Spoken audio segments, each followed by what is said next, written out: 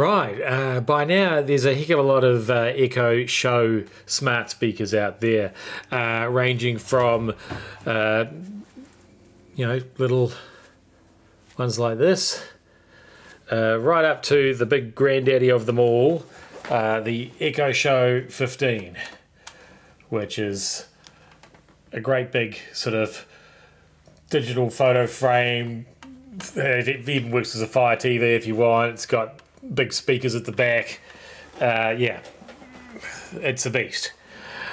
Uh, but while some of those uh, echoes will work as uh, smart home hubs, uh, they're not always the most intuitive to use. Uh, and perhaps don't have the most well set out display or home screen sometimes they're just not the right shape or size uh, to use the way you want to use it. And that is why uh, Amazon has now brought us uh, the Echo Hub. And so this is a much smaller device, and as you can see, it's really just a flat panel.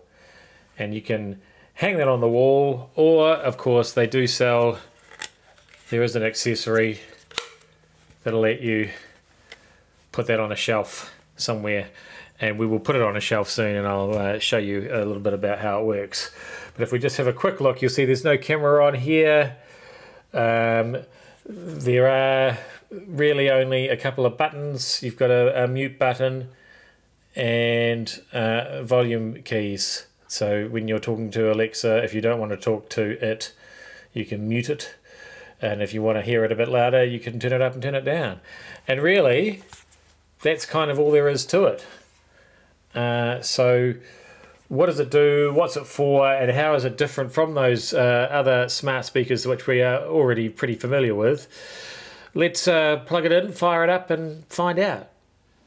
Okay, so I'm just over the other side of the room here, and I'm just going to sneak up on the Echo Hub uh, because this is what it does when the screen's idle, or what I've set it up to do is to have a, a little uh, photo montage and a clock. Uh, but yeah, now the uh, motion sensor has sensed that I am uh, close to it. No camera on this device, only a motion sensor. Um, so it knows that I'm here, and now it's showing me the home screen with all the widgets and things, which I'll get to in a minute.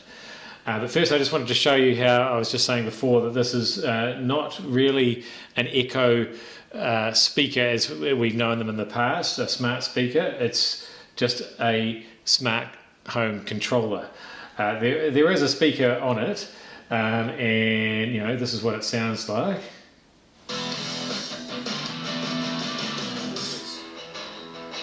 So it's a little bit tinny. Uh, there are volume controls on the side. Doesn't actually get that loud, and it doesn't get, actually get much less tinny uh, even if you go into the audio settings and fiddle around with the bass and the treble and stuff like that, there just isn't really any bass to it. But that's all right, it's not designed uh, to do that.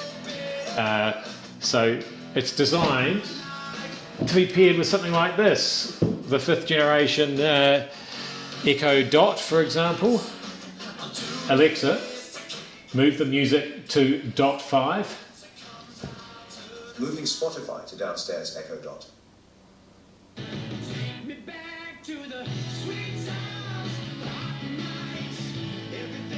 So we'll talk more about this um, device in a future review, but already you can hear that it's a fuller sound even from such a little speaker.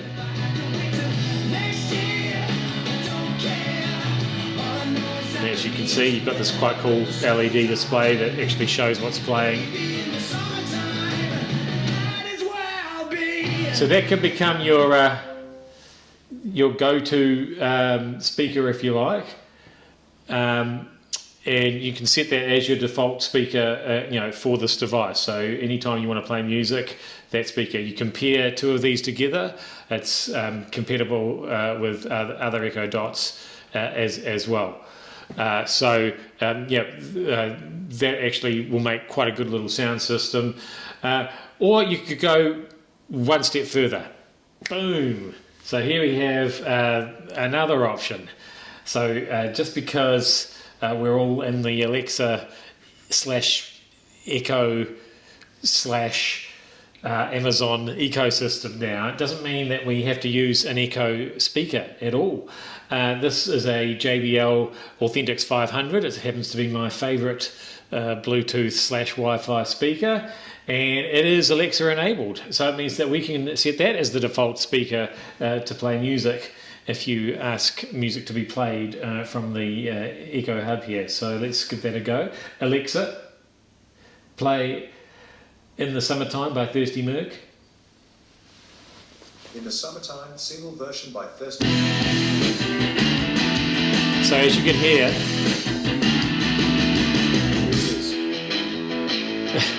the hub uh, replied to me, but the music uh, then played from the speaker.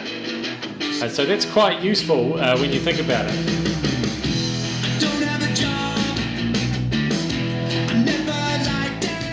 Because, uh, yeah, and as you can tell, it's a much bigger sound. Uh, but yeah, that's, that can be quite useful because, uh, you know, obviously you don't have to have the hub anywhere near the speaker as long as they're all on the same Wi-Fi network, it'll it'll still work. Uh, so that's pretty cool. Alexa, pause the music. Okay, uh, so uh, the only thing uh, with that is that uh, when you pull up this uh, active media list, it'll show you everything that you're playing on all the different speakers around the house. So that's quite cool, and you can control that as well. Uh, but you don't get that um, cool now playing uh, screen that we had before when I was playing it just from the, the device. I don't know why you can't have that, but for some reason you just can't. Or if you can, I haven't figured out how to do it. Um, so anyway, uh, let's have a look at. Uh, so that's music aside. This is not really a music device, but I just wanted to show you, uh, you know, what some of the options were. Uh, the real beauty of this device is that now, uh, you, just because I'm the one who does all the tech support in our house, uh, doesn't mean that I have to control anything in the house anymore. And that's always a point of frustration with various people in the house. You know, they want the lights on and off. Uh, they want, you know, to see the doorbell, uh, all that stuff uh, how do they do it? They never know, you know, which virtual assistant they are talking to or what they're supposed to be doing. This makes it so much easier because we've got a clear control panel here, and so because I've put this in a sort of a central area for the family, we've got the family calendar on here. So Macy's got a lashes appointment. You're really getting an insight here. Uh, Linda's got a haircut coming up. Um, it looks like there's an exam coming up as well there as well. Um, so and we can do things like um, and as you can see, there's a little bit of lag there on the on the screen sometimes. Uh, don't expect this to work, you know, like a Wizzy tablet with a fast chip in it, uh, but it still is uh, pretty cool. So, I mean, what, what can you do with that information? Well, you can do things like Alexa, add a sticky note. Okay, what should the sticky note say? Don't forget Macy's hair appointment. Okay, I've saved your sticky note. Okay, so there you go. That just makes it even uh, more obvious. Weirdly, though, you can't seem to do anything with that. So that's a kind of a dumb widget. So once it's there, it seems to be very hard to get rid of. So let's just get rid of it that way. Uh, this is this whole feeling with this device is that uh, it's like good things are coming, but we're not quite there yet. Uh, and that could be true here uh, with our uh, camera widget. So this is really cool. You can add all the different cameras around the house, and I've got various cameras. I've got uh, Ring cameras, I've got D-Link cameras, I've got uh, Google cameras, uh, Google Nest cameras. Uh, some of them work better with this system than others. So, uh, for example, we can just uh, have a look at see who's at the door, um, and so it's just opening the the Ring skill there, and we can double tap on that and you get a slightly wider view and then we can see the doorbell and yep we can even uh, talk to them if we want to you know touch that mic button there. Uh, so yeah that's that's really cool. And in fact uh, we can do a sort of a you know a multi closed circuit uh, myriad display if you like. Uh, have a look at all a whole lot of different cameras. But I have found that sometimes this works and sometimes it doesn't and you never know which camera is going to come up and which one isn't. In this case, oh no, they've all come up this time. Uh, some took longer than others, who knows why. Um, Uh, so, yep, so there's the ring one at the doorbell, that's a D-Link one, that's a D-Link one, that's a ring one on the gate. So, um, yeah, that's quite cool. But now that one's just mysteriously disappeared. Who knows why? Not me. I don't know why. Alexa, show me the home page. Right. Um, and of course, uh, we can have like a weather forecast and things like that as well. And uh, we can control the uh, air conditioners, there they are. Um, and uh, we can also uh, bring up all the lights in the house. Um, so that's pretty cool too. Um, so yeah, basically that just makes it really, really easy to access those things. People still like to have a sort of a hands-on control panel, and it is one that you can talk to as well. So um, thanks to uh, Matter especially, which is you know this wireless protocol that everything is supposed to be based on now. But yeah, um, don't don't get too excited. Uh, Alexa isn't, is still not talking to any Apple devices yet, but uh, maybe that'll come. Uh, there are devices that will talk to Apple and Alexa as well. For example, Alexa, change the dining room lights to red.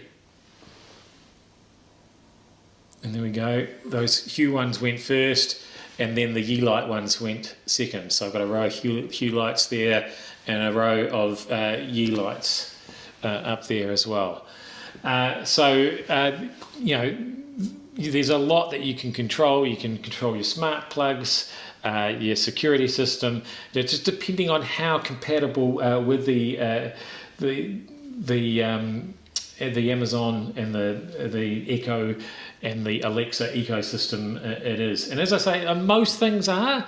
Uh, you've just got a few things that are still walled off, uh, uh, but they, they seem to be getting closer and closer and closer all the time.